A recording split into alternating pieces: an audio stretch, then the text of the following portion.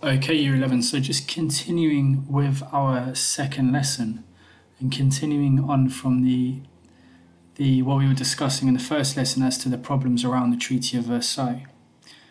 Uh, we are going to look now at what the consequences were of that treaty. So we know that the Treaty of Versailles was signed in 1919 by the German government to end the First World War.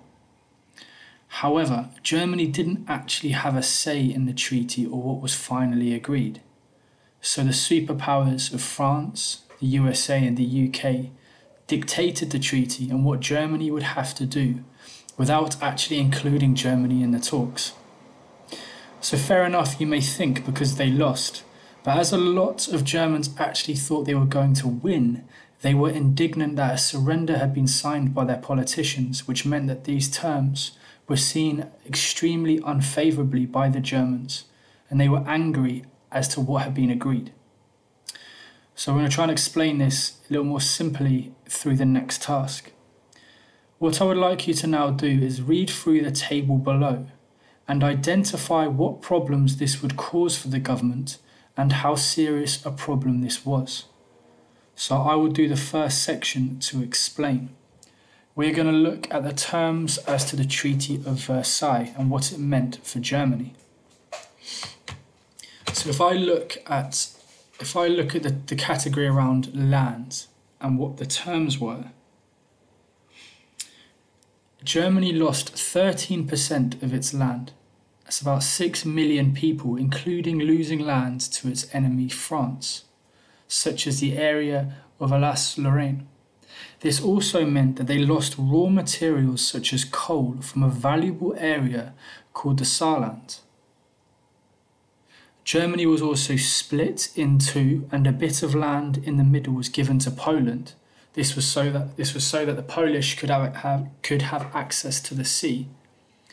And finally, all of Germany's overseas colonies were taken away and given to the winners of World War One. So, just to help kind of um, understand this passage, I'm going to show you a map down here. We can see that the land given to Poland effectively cut off Germany as a country. It was, it was split into two sections. We can also see areas which were given to France, down here, Alsace-Lorraine, as well as the fact that the Saarland was to be administered by the League of Nations, and France was able to take coal from it, which is around here. So, if we think to the problems that this would cause for the government, I would put down A, geographical management as the country was not actually connected. So, what problems would this cause for the government? They would struggle to effectively govern their country, to manage their country, because it was in two separate parts.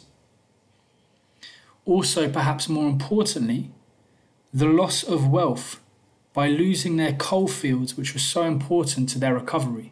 So they lost uh, all this, the, the coal fields of um, the Saarlands were given to the French, and basically that was a huge loss of wealth for them. See, their pride was hurt. If you think about the nationalists and their support for their country and their pride in their country, the fact that they lost so much uh, territory would be a huge impact in the damaging of their pride. And finally, the loss of their colonies meant a further loss to their power and a damage to their image as a superpower, which kind of links into the one above, that their pride was hurt. Thinking as how serious was this a problem to the government, as a number, I would give this perhaps 8 or 9. It was a huge problem for them especially linking it go, going back to the the, uh, the around coal. So what I would like you to please do is complete the remainder of this table. There are three different parts. I would like you to please read each section, complete the problems that this would cause for the government, and then give them a numerical value. Give yourselves eight minutes to do this, please.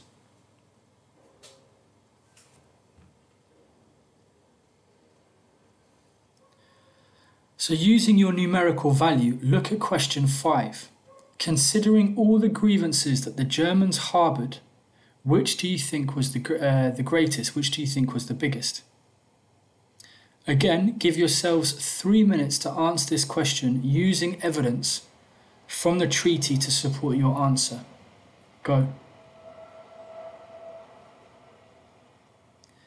And finally, I want to introduce a source from an article in a German newspaper in 1919, which shows the level of anger at the Treaty of Versailles. As you can see, it states Vengeance, Germany nation. Today, in the Hall of Mirrors of Versailles, a disgraceful treaty is being signed. Never forget it. On that spot, German honour is being dragged to its grave. There will be a revenge for the shame of 1919. Do we think the conditions were fair? The anger at the treaty is something we constantly come back to and something Hitler played upon throughout his rise. But what are your thoughts? What I would like you to do is write a paragraph to give your opinion on this question, on question number six. Do you think the conditions of Versailles were fair? Give yourself five minutes to think about this and write your answer. When you have done that, you have finished today's double lesson.